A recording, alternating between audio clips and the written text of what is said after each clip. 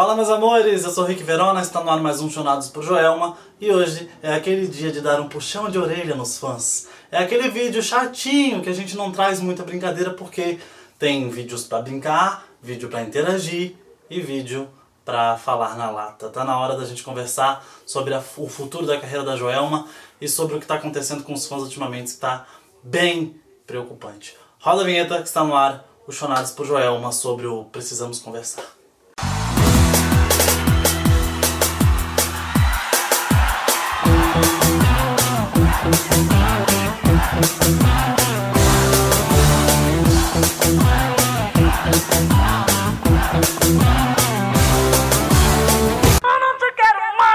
Bom, e se você é um daqueles fãs que vem no canal só para anotar a palavra da promoção Chonado pelo Chonado, onde você concorre a esse kit que está passando na sua tela lá no final do ano, a palavra já está passando aqui, você pode anotar e sair.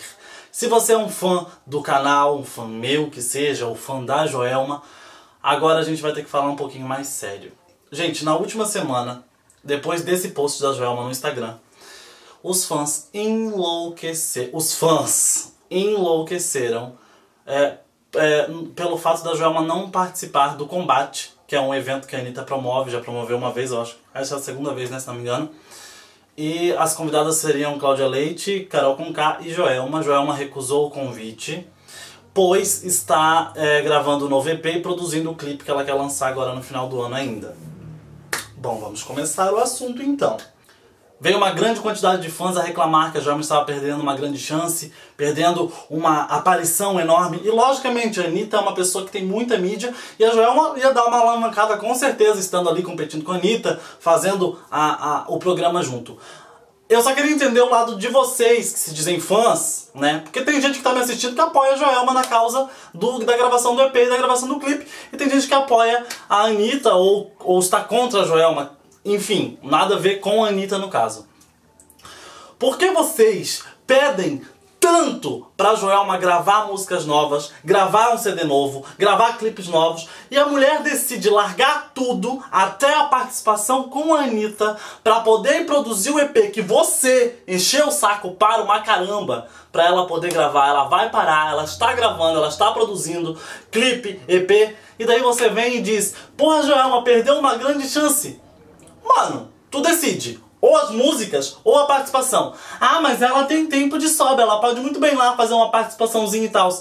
Cara, isso é uma decisão da mulher. Ela tem o direito de querer ir como não ir. É apenas um show isso que a Anitta promove. E como a mesma postou no Instagram da Joelma, a própria Anitta foi nos comentários do Instagram da Joelma, onde vocês estavam disseminando um ódio nojento, um ódio que não é de fã, uma coisa ridícula o que muitos de vocês fizeram lá no Instagram da Joelma, falando mal e dizendo que a carreira dela vai de mal a pior e que ela não aproveita a oportunidade.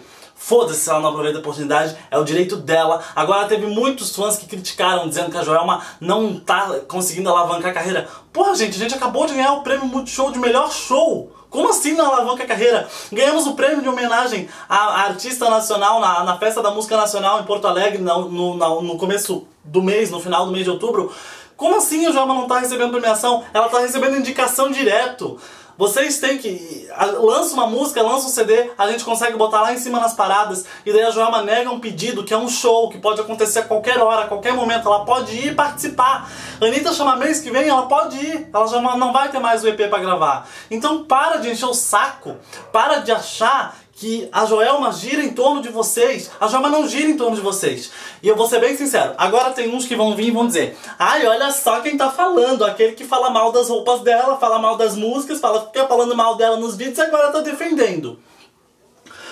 Existe uma coisa entre falar mal, já vou até deixar explicado. Existe falar mal Existe criticar e existe a crítica construtiva. Tem músicas que eu não gosto, assim como vocês não gostam. Eu não gosto de Rubi, tem gente que não gosta de A Festa Começou, tem gente que não gosta de Não Teve Amor, tem gente que não gosta de Chorar no Coração, tem gente que não gosta. Eu, por exemplo, amo essa roupa que tá aparecendo aqui, ó.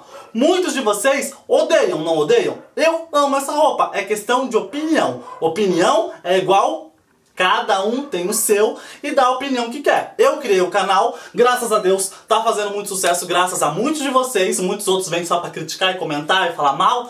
Continue falando mal, continue dando visualização, porque ó, tô ganhando dinheiro em cima de vocês.